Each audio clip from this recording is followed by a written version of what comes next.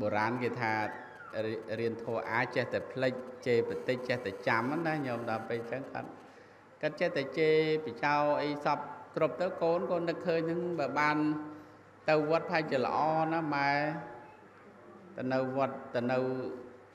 អារាមទៅប្រហែលជាអាចល្អក៏លោម៉ែញោមលោម៉ែម៉ែអើទៅវត្តទៅខ្ញុំឧបត្ថម្ភខ្ញុំជួយហ្នឹងហើយ និយាយយូរយូរទៅម៉ែជ្រះថ្លានឹកឃើញអីល្អដែរបើបានទៅនៅវត្តអីប្រហែលជាល្អដែរម៉ែក៏ទៅតាមកូនញោមទៅនៅវត្តឈប់បចោកូនទៅដល់វត្តបចោលោកម្ដងញោមទៅដល់វត្តបចោលោកម្ដងចឹងបានថ្មថាអូមិនកើតទេញោមរឿងរឿងកាចនេះ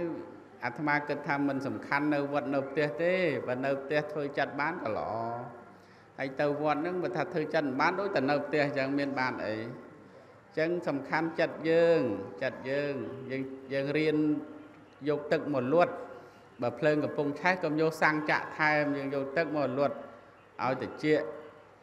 ឲ្យភ្លើងហ្នឹងរលត់ទៅវិញដូចគ្នាអាត្មាឃើញញាតិញោមខ្លះគាត់បានកសាងកុដកសាងអីប្រកេនប្រសង់អញ្ចឹងទៅគាត់នឹងប្រឡូកប្រឡាក់ទៅគាត់ខឹង វេប្រកេនលោកហើយអឺលោកគាត់ទទួលហើយជារបស់សង្ឃហើយប្រសង់ទាំង8ទិសមកអាស្រ័យគង់នៅសឹងក្តីអង្គុយក្តីនៅ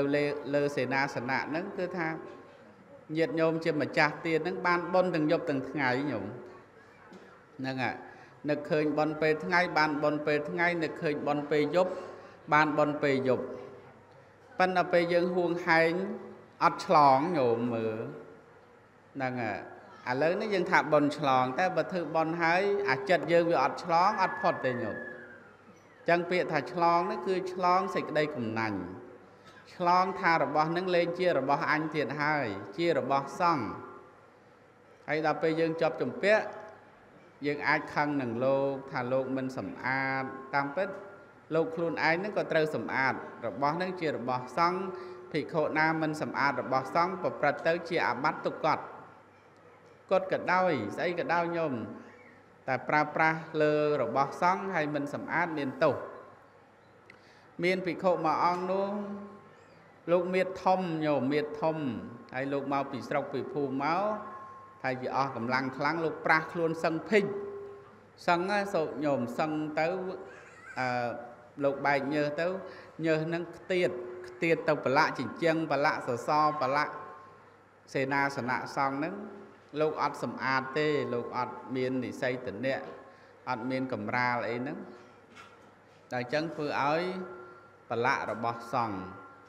ដល់ទៅប្រឡាក់របស់សង្ឃលោកអស់ជីវិតទៅ លោកតកើតជាយៈញោមនៅក្នុង